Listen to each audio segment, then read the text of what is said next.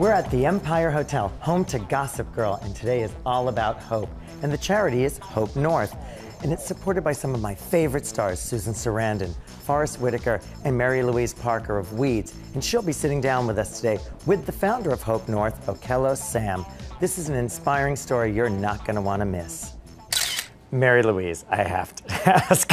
You've had an incredibly acclaimed career, awards, movies, theater. You're great on the stage, and yet you've never really got into the tight dresses and the going out in the Hollywood scene. How do you Yeah. get that great career? At the tight dresses, but not at the Hollywood. own private life.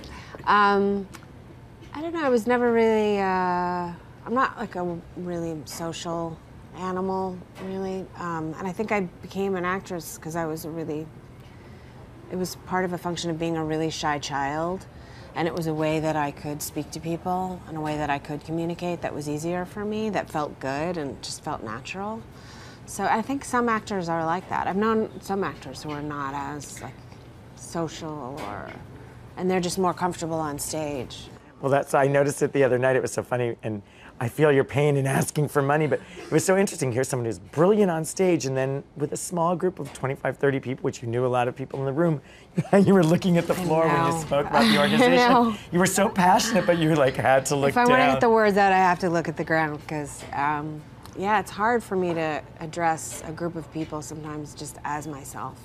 You've been able to use your career now to follow the things that really seem to interest your heart, your passions. I was thinking the other day, like, there's really no point in having money or having any sort of notoriety whatsoever if you can't, like, rush in and try to help fix something at some moment. And, you know, what comes along with it is a lot of people are deeply suspicious of you or cynical about it, but it doesn't matter to me if it leads to something, if it leads to somebody getting financial support or a cause Yeah. getting attention. I I don't care if people sort of make fun of me a little bit, as long as I don't have to hear it. You did something extraordinary. You, you have a son, but you adopted a little girl on your own from Ethiopia. she's a lot to live up to.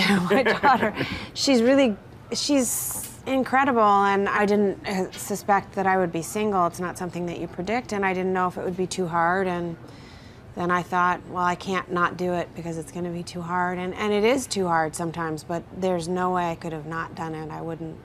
My life wouldn't be the same. My son's life wouldn't be the same. Well, you've had a big adoption recently. Okello and, Yes. and about 250 children in Yes. Uganda. And you're, you're a bit of a star in Uganda as well, huh? Yeah, I, I have a dance company which uh, has about 35 artists, and so we perform every week. Um, I also have a television program which is a, basically a stand-up comedy.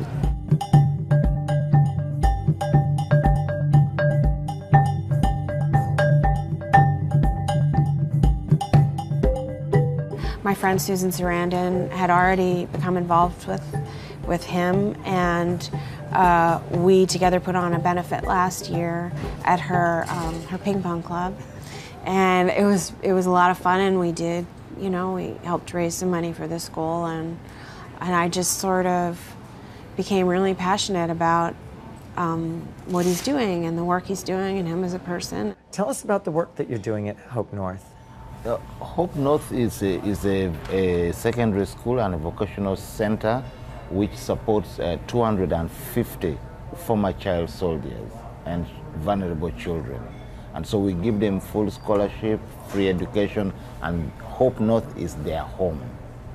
And most of the children don't have families. Their families have been killed or annihilated by the rebels. Yeah, by, by the Lord's Resistance Army. Their families have either been destroyed, their parents killed, or some of these kids were born in the rebellion. And then in the process, they don't know who their parents are. And then they come to us at Hope North, and we create a home for them. And Forest Whitaker is very involved in, in Hope North. How did he become involved with it? We worked with Forest in The Last King of Scotland, and uh, the, the, I did the choreography for the first part of the dance, and also the dancers were students from Hope North. These were basically former child soldiers. When we were doing it, Forest didn't know. He's a very inquisitive person, so he kept on asking, you know, where they were coming from. And when he learned that they had such a, a challenging and terrible history, he got very interested in them. And I feel very blessed, and I think the children are very blessed by the fact that, you know, they have people like Forest Whitaker supporting them, Susan Sarandon, and of course, Mary Louise Arms. I, I don't know what I don't know what to do with that.